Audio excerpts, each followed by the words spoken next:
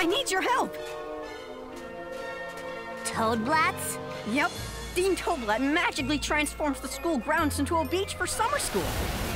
Yeah, I failed remedial hexing, so I'll be here all summer. And you'll be spending the rest of eternity here if you keep it up, just like your father.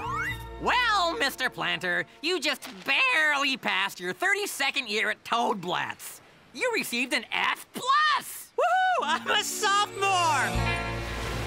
A day at the beach, free from those little brats at last. Sun, surf, sand, and hot sandwiches.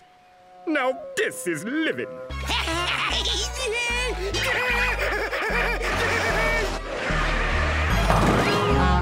well, that didn't last long.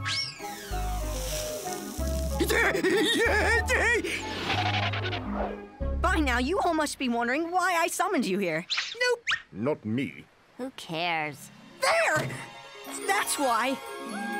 Yep, sunscreen is important, but never drink it. I learned that one the hard way. Woohoo! Ah, know what I mean? Natural gas pipeline, woo!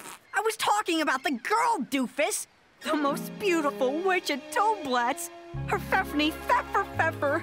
Ah, I simply must have you, her Pfeffany Pfeffer Pfeffer. Mwah. oh, oh no! Well, hello, Herfephany. Hi, Dorko.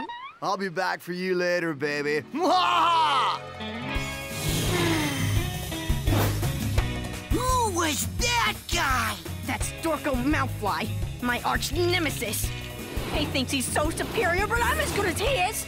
Just because he has muscles and good looks. And he's really cool. So then you'll help me win her Herphaphony's heart, right? Sure. No way. Do we get to eat it afterwards?